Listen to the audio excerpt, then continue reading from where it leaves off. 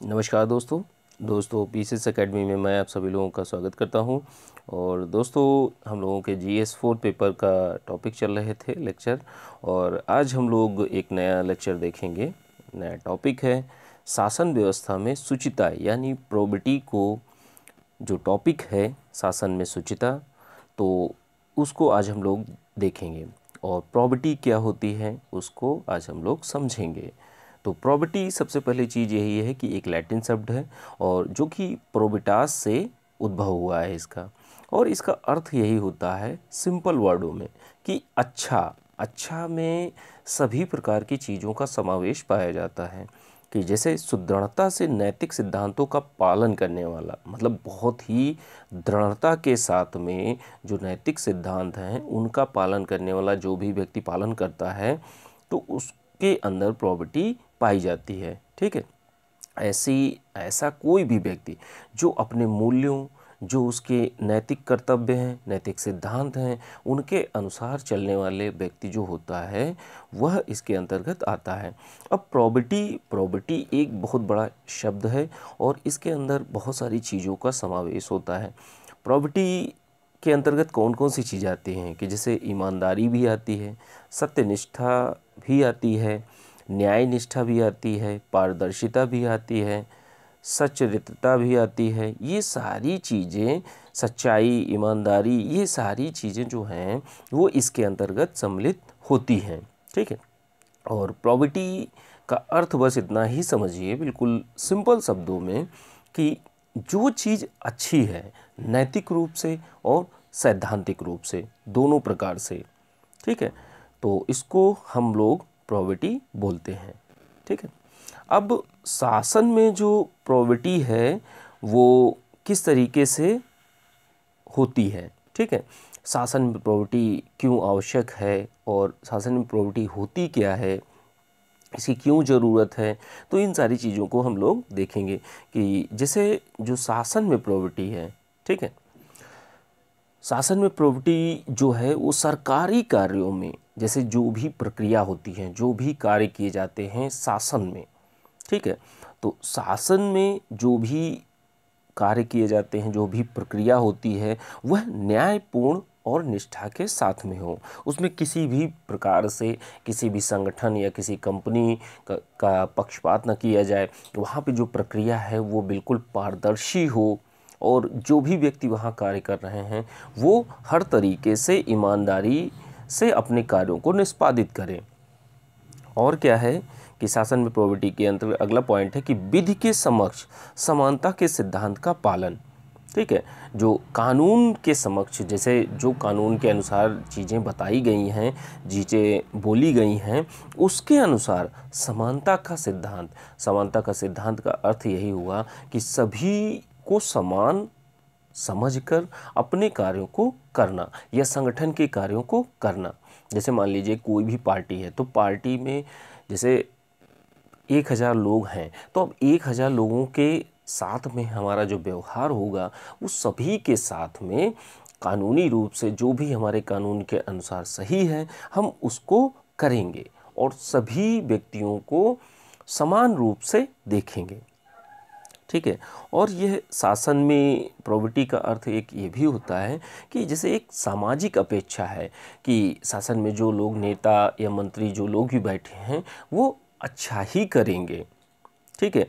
जो प्रशासन में लोग हैं, वो अच्छा ही करेंगे।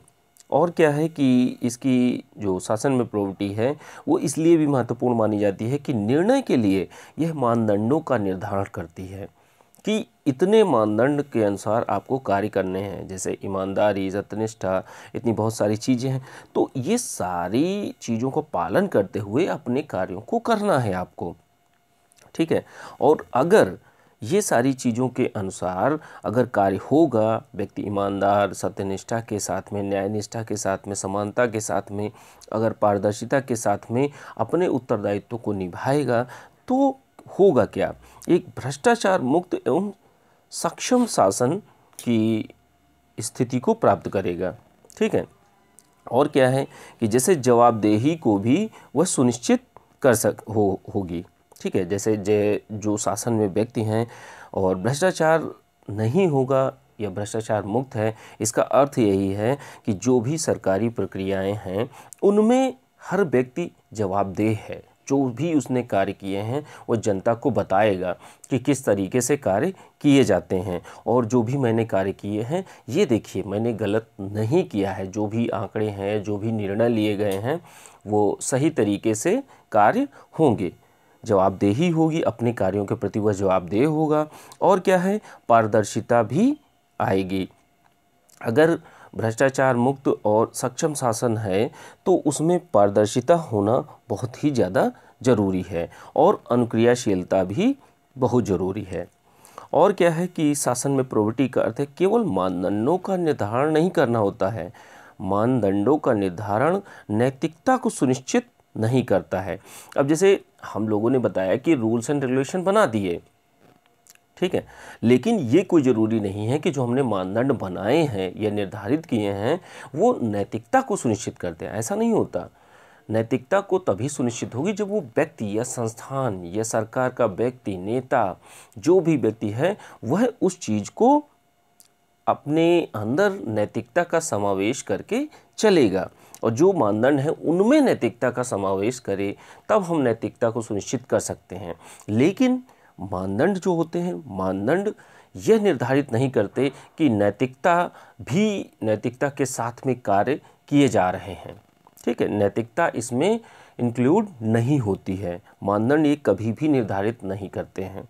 ठीक है, और क्या है कि जैसे शासन में प्रोबिटी का अर्थ यह भी है कि सरकार की नीतियों का क्रियान्वयन नैतिकता एवं मानदंडों के साथ में होना चाहिए कि जैसे किसी ऑर्गेनाइजेशन के कुछ रूल्स एंड रेगुलेशन हैं और उन आचरण सिद्धांतों के अनुसार और नैतिकता के साथ में अगर करना है, ठीक है तो वहाँ पर जो सरकारी नीतियाँ हैं उस संगठन की नीतियाँ हैं या उस राज्य की नीतियाँ हैं, स्थानीय शासन की नीतियाँ हैं, जो भी नीतियाँ हैं, वो अच्छी तरीके से कार्य अगर करना चाहती हैं तो उनको नैतिकता एवं मानदंड दोनों के साथ में, दोनों चीज़ों के साथ में लेकर चलना होगा।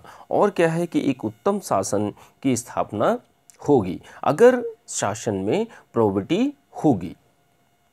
ठीक है, चलिए आगे देखते हैं क्या है। शासन में प्रोविटी का महत्व, अब हम अगला देखते हैं टॉपिक शासन में प्रोविटी का महत्व क्या होता है? तो महत्व का अर्थ यही है कि शासन में अगर प्रॉपर्टी है तो ये हम निर्धारित कर सकते हैं कि शासन अच्छा है या बुरा है। प्रॉपर्टी के अंतर्गत बहुत सारी चीज़ें आती हैं, बहुत सारी चीज़ों को समावेश किया जाता है, ठीक है? जैसे सत्यनिष्ठा हो गया, ईमानदारी हो गई तो ये सारी चीज़ें क्या बताती हैं कि जो शासन के द्वारा कार्य किए गए हैं, वो अच्छे हैं या बुरे हैं? और क्या है कि राज्य की वैधता को भी स्थापित करती है? तो भाई, सीधी सी बात है कि जो शासन या सत्ता पार्टी जो भी होगी, वह उसके कार्यों को ही प्रतिबिंबित करती है। कि अगर कार्य अच्छे होंगे तो अच्छी सरकार है। अगर कार्य अच्छे नहीं होंगे तो वह अच्छी सरकार नहीं है। तो राज्य की वैधता को भी स्थापित करती है प्रोविटी और क्या है कि राज्य के संस्थानों में भरोसा भी दिलाती है। अब सोच के देखिए कि जैसे हमारा सीबीआई है या भारत का चुनाव आयोग है, ठीक है? उच्चतम न्यायालय है और राज्य निर्वाचन आयोग है। बहुत सारी संस्थाएँ जो हैं, केंद्रीय सतर्कता आयोग है। तो ये जितनी भी संस्थाएँ हैं, या संस्थान हैं, वो अगर प्रॉविटी उन संस्थानों में पाई जाएगी तो उनके कार्य भी बहुत अच्छी तरीके से हुए होंगे। और जब कार्य अच्छे से हुए होंगे तो लोगों का संस्थानों के ऊपर भरोसा भी होगा। ठीक है? तो ये बहुत ही ज़्यादा महत्वपूर्ण है। और क्या है? कि विवेकपूर्ण नैतिक परिणाम प्राप्त होते हैं और समय के साथ विश्वास का सृजन भी होता है। तो अब सीधी सी बात है, विवेकपूर्ण नैतिक परिणाम प्राप्त होते हैं। अगर शासन में प्रोविटी है तो प्रोविटी अगर है शासन में तो जो भी चीज़ें आएँगी, वो नैतिक पूर्ण आएँगी और जो रिज़ल्ट मिलेंगे, वो हमें बिल्कुल नैतिक पूर्ण मिलेंगे। और नैतिक पूर्ण अगर कार्य किए जाते हैं तो लोग उस पर भरोसा करते हैं, लोग उस पर विश्वास करते हैं। ठीक है? तो ये भी बातें हैं। भ्रष्टाचार एवं कमज़ोर धारणाओं को दूर करती है कि यह सबसे बड़ी बात यह है प्रॉपर्टी अगर शासन, प्रशासन या किसी व्यक्ति में या संस्थान में भी है तो वह क्या है? भ्रष्टाचार को दूर करती है, ठीक है? कमज़ोर करती है। और क्या है कि प्रक्रिया में निष्पक्षता एवं स्वतंत्र दृष्टिकोण प्रदान करती है। तो जैसे जो भी एक प्रोसेस है प्रोसेस में वह निष्पक्षता लाती है, ठीक है? कि आप किसी भी पार्टी को लेके या किसी भी व्यक्ति को लेके, किसी संस्थान के प्रति आपने क्या किया है? आप निष्पक्षता से कार्य किया है। अगर स्वतंत्र दृष्टिकोण के अकॉर्डिंग अगर कार्य करते हैं और निष्पक्षता के साथ में कार्य करते हैं, ठीक है? तो शासन में प्रोबिटी तभी होगी, ठीक है, कि जब निष्पक्षता एवं स्वतंत्र दृष्टिकोण आते हैं, ठीक है? शासन में प्रोबिटी का महत्व तो ये भी है यह निष्पक्षता को लाता है और स्वतंत्र दृष्टिकोण व्यक्ति संस्थान को प्रदान करता है, लोगों को प्रदान करता है, एक देखने का नज़रिया बताता है कि हाँ किस तरीके से निष्पक्षता और स्वतंत्र स्वतंत्र दृष्टिकोण अगर लाना है तो हमें शासन में प्रॉपर्टी को लाना होगा सबसे पहले। उदाहरण के लिए देख सकते हैं कि जैसे एक न्यायाधीश है, पुलिस, लोक निर्माण विभाग, स्वास्थ्य, शिक्षा आदि सेवा प्रदाताओं द्वारा शक्ति का दुरुपयोग रोकती है। भाई, सीधी सी बात है, जितनी भी संस्थाएँ हैं, व्यक्ति हैं, जो भी हैं तो ये व्यक्ति क्या करेंगे? अगर इन व्यक्तियों के द्वारा शासन में या प्रशासन में प्रॉपर्टी आएगी तो प्रॉपर्टी के साथ में अगर काम किया जाएगा तो जितना भी चीज़ें हैं, वो शक्तियों का दुरुपयोग नहीं हो पाएगा। शक्तियों का दुरुपयोग से रोकती है। ठीक है? और क्या है?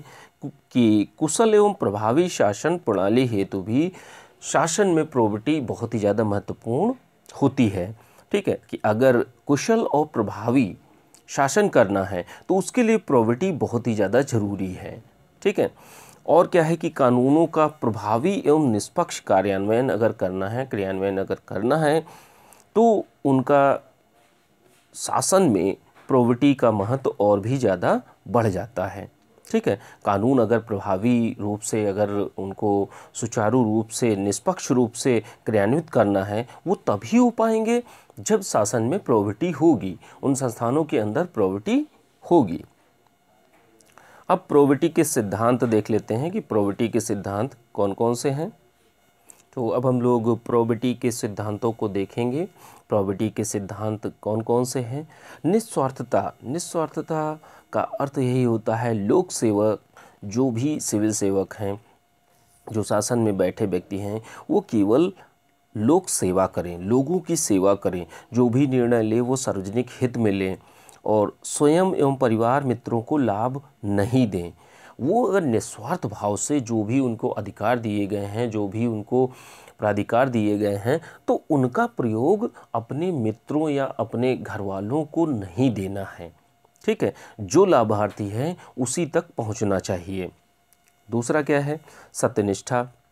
सत्यनिष्ठा का अर्थ बस इतना ही है, सिंपल शब्दों में समझिए कि दबाव रहित कार्य करना, बाहरी या आंतरिक किसी भी प्रकार का दबाव के अनुसार कार्य न करना। तो ये क्या है? सत्यनिष्ठा इंटरग्रिटी कि हमें जो कार्य करना है, वो हम अपने जो भी हमें अधिकार दिए गए हैं, हम उसके अनुसार जो भी नैतिक रूप से सही है और अपने अधिकारों के अनुसार जो भी कानूनी रूप से सही है, हम उसको आगे क्रियान्वित करेंगे।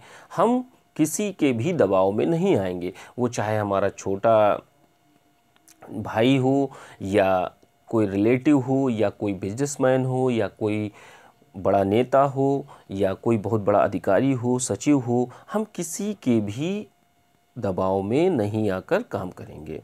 हम अपने अनुसार जो भी नैतिक रूप से सही है, हम उसको कार्य करेंगे। चलिए आगे देखते हैं कौन सा है। जवाबदेही। जवाबदेही का अर्थ बस इतना ही होता है कि जो भी आपने कार्य किए हैं, उनके प्रति आप जवाब दें। अच्छा के लिए आप जवाब दें हैं और गलत कार्य के लिए भी आप जवाब दे हैं।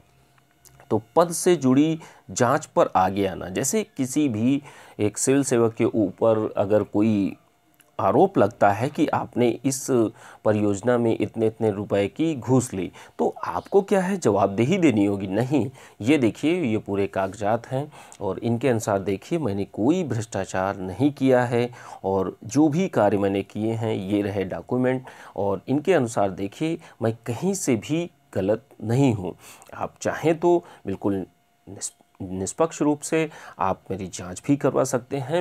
मैं बिल्कुल राज़ी हूँ, क्योंकि जब मैंने गलत कार्य किया ही नहीं तो मैं बिल्कुल भी डरूँगा नहीं। ठीक है? तो जवाबदेही का अर्थ यही है, जो भी आपने कार्य किए हैं, उसके प्रति अपने आप को आगे लाना।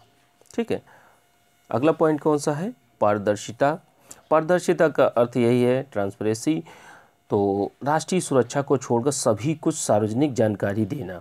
कुछ जानकारियाँ ऐसी होती हैं, जैसे जो राष्ट्रीय सुरक्षा से जुड़ी होती हैं तो उनको उस सार्वजनिक जानकारी, जो राष्ट्रीय सुरक्षा से जुड़ी जानकारी होती है, उसको नहीं देना। बाकी कोई भी जानकारी है, मैं आपको देने के लिए तैयार हूँ। ठीक है? सभी हितधारकों का भरोसा एवं विश्वास। अगर पारदर्शिता से व्यक्ति काम करता है, कोई संस्थान काम करता है या कोई एस डी काम करता है तो है क्या? सभी हितधारक जिनके भी हित जुड़े हैं उस योजना, परियोजना, जिस चीज़ से भी तो उनका भरोसा बना रहेगा और एक नया विश्वास भी बनेगा। अगला क्या है? खुलापन। निर्णयों पर जवाबदेही। कोई भी चीज़ आपको बतानी है, आप बिल्कुल दिलफेक से बताइए। मुफट होके बताइए कि हाँ ये चीज़ मैंने निर्णय लिया। इसमें मैंने कोई ऐसी बात नहीं करी। ये देखिए, ये मेरा जवाब है। लिखित रूप से अपने निर्णयों पर जानकारी सभी को देना। जो भी आप निर्णय लेते हैं, उनकी जानकारी, बिल्कुल त्वरित जानकारी सभी के को देना। जो भी व्यक्ति आपसे पूछता है तो ये क्या कहलाता है? खुलापन। ईमानदारी। ईमानदारी तो क्या कहा जाता है कि जैसे सार्वजनिक हितों हेतु पूर्ति एवं निजी हितों को बताना, ठीक है? तो ईमानदारी का मतलब यही है कि जो सार्वजनिक हित हैं, उनको पूरा किया जाना चाहिए, ठीक है? और अगर निजी हित में कोई भी कार्य किए हैं आपने तो आप ईमानदारी से उन चीज़ों को बताइए, ठीक है? और सार्वजनिक हित की अगर कोई बाधा आती है या सार्वजनिक हित में कोई समस्या पैदा होती है तो उसको भी ईमानदारी से पूरा करना। ठीक है, गोपनीयता गोपनीयता का अर्थ क्या होता है कि सरकार की गोपनीय सूचनाओं को सुरक्षित रखने का वचन देना। ठीक है, और प्रशासनिक न्याय स्थापित करना। इसका अर्थ यही होता है कि सरकार की जितनी भी सूचनाएँ हैं, जैसे जो चीज़ें आपको बताई गई हैं बड़े अधिकारियों के द्वारा या संस्थानों के द्वारा कि इनको आपको नहीं बताना है तो उन चीज़ों को आप लोगों को नहीं बताना है। और एक प्रशासनिक न्याय, आप अपने संस्थान के प्रति, अपनी सरकार के प्रति भी आपको ईमानदार रहना है, प्लस जनता के हितों को भी संरक्षित करना है, सुरक्षित रखना है तो इन चीज़ों को भी ध्यान रखना है। ठीक है। अब अगला पॉइंट क्या है? हितों के टकराव का प्रबंधन, निष्पक्ष एवं उचित निर्णय। हितों का टकराव का मतलब ये है कि कोई निर्णय ले रहे हैं, उसमें आपका कोई दोस्त आ गया या कोई जो आपसे सुपीरियर ऑफिसर्स हैं तो उनसे संबंधित कोई आ गया तो वहाँ पर एक जनता का एक सामान्य इंसान तो वहाँ पर आपको क्या करना है? निष्पक्ष होकर एक उचित निर्णय लेना है। ठीक है? और क्या है कि जो जनता है, जनता को आपको सर्वोपरि रखना है। जनता से ऊपर कोई भी नहीं है। और नवा पॉइंट क्या है? नेतृत्व। नेतृत्व का अर्थ यही होता है कि लोक सेवक जो होते हैं, वो प्रचार एवं समर्थन करते हैं, ठीक है? खुद भी अनुकरण करते हैं। जैसे होता ना कि एक नेतृत्व करता जैसे ज़िले का डीएम होता है तो वो अच्छी चीज़ों से सीखता भी है। ठीक है? और खुद भी उन चीज़ों को अपने अंदर अनुकरण करता है, ठीक है? अनुकरण करता है और चीज़ों से सीखता है और जो लेक लोक सेवा है, जो सिविल सेवा है, उसमें ये चीज़ें नेतृत्व बहुत ही ज़्यादा महत्वपूर्ण होता है। जो निर्णय लिए जाते हैं, उनमें नैतिकता का होना बहुत ही ज़्यादा ज़रूरी है। अगर नेतृत्व अच्छा नहीं है तो आपके जितने भी कार्य होंगे, वो अच्छे नहीं होंगे। ठीक है? तो दोस्तों, वीडियो ज़्यादा लंबा ना हो। इसके लिए मैंने छोटे छोटे वीडियो के माध्यम से ही देखेंगे। दो तीन वीडियो में इसको कंप्लीट कर लेंगे, ठीक है? और दोस्तों जीएस और डिफेंस ऑप्शनल का ग्रुप भी चल रहा है तो उसको भी आप लोग ज्वाइन कर सकते हैं। यह मेरा व्हाट्सअप नंबर है, इस पर आप लोग मैसेज कर सकते हैं, या तो आप डिस्क्रिप्शन बॉक्स में देख सकते हैं, ठीक है? चलिए, ठीक है। थैंक यू सुनने के लिए।